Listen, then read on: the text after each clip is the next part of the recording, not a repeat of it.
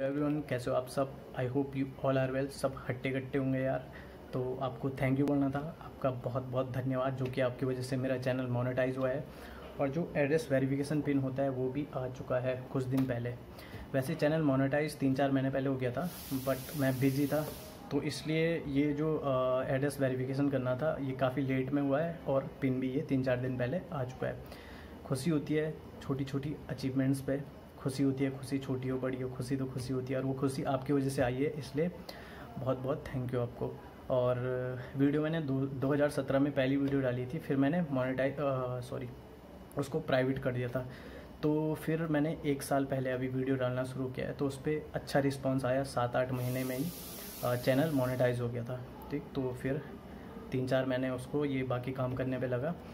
तो आपका बहुत बहुत थैंक यू और मैं अपनी पूरी कोशिश करता हूँ यार कि मैं ऐसा वीडियो डालूँ, ऐसा कंटेंट डालूँ कि जो भी व्यूअर हो, मेरी वीडियोस की आखिरी वीडियो मेरी वीडियो से कोई भी डाउट लेके वो ना जाए तो ये मेरी कोशिश होती है। मैं अच्छी अच्छी वेबसाइट्स देखता हूँ क्योंकि एन e में क्लियर नहीं होता है अच्छी अच्छी बुक्स देखता हूँ ताकि आपके लिए बहुत अच्छा कॉन्टेंट बना पाऊँ। चाहे मैं थोड़ी लेट करूँ वीडियो डालने पर बट मैं बहुत क्लियर पॉइंट ऑफ़ व्यू से वो वीडियो डालता हूँ और अच्छा कंटेंट देने की कोशिश करता हूँ। मेरे कई दोस्त एजुकेटर्स हैं जिन्होंने काम करना बंद कर दिया था वीडियो डालना बंद कर दिया था क्योंकि उनके व्यूज़ तो आ रहे थे बट वॉच टाइम नहीं आ रहा था।